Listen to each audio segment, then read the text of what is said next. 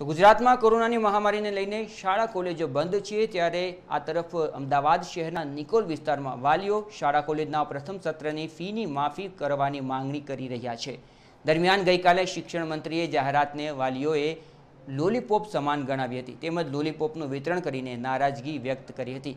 મહત્વનું છે કે ગઈકાલે જ શિક્ષણ મંત્રી દ્વારા આ પ્રકારની જાહેરાત કરવામાં આવી હતી કે જે રીતે શાળા કોલેજો છે તે ફી માટે દબાણ નહીં કરી શકે અને જે વાલીઓ છે તેમને ફી ભરવા માટેનો સમય પણ આપવામાં આવશે. સાથે જ જે વાલીઓ છે તેમના માટે એક શાળામાં ફી ભરવાનું એક નિયમ હોય છે. નિયમમાં છૂટછાટ આપવામાં આવશે. ત્રિમાસિક, છ માસિક, વાર્ષિક આ પ્રકારે ફી સ્કૂલોમાં ભરવાની હોય છે. પરંતુ શિક્ષણ મંત્રીની જાહેરાત મુજબ હવે જે વાલીઓ છે તે માસિક ફી ભરવા માંગશે તો પણ તે ભરી શકશે અને સપ્ટેમ્બર મહિના સુધી તેઓ જે દબાણ કરી રહ્યા છે ફી માટેનું તે દબાણ પણ નહીં કરી શકે. પરંતુ આ સમગ્ર બાબતને વાલીઓએ લોલીપોપ ગણાવી હતી અને વિરોધ દર્શન, પ્રદર્શન કર્યું હતું.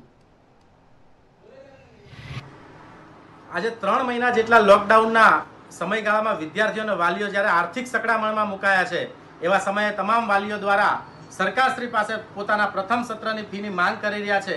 એવા સમયે ગઈકાલે ગુજરાતના માનનીય શિક્ષણ મંત્રીશ્રીએ મીડિયાના માધ્યમથી જે જાહેરાત કરી છે, એ જાહેરાતમાં ક્યાંક ને ક્યાંક સ્પષ્ટપણે દેખાઈ આવે છે કે આ જાહેરાતમાં વિદ્યાર્થીઓને વાલીની સંવેદનાને, સંવેદનાથી પર ઉઠી આજે શિક્ષણ મંત્રી સંચાલકોની વારે આવ્યા છે, સંચાલકોની પીઠ થાબડી રહ્યા છે અને જે ફી તો ફરજિયાત ચૂકવવી પડશે.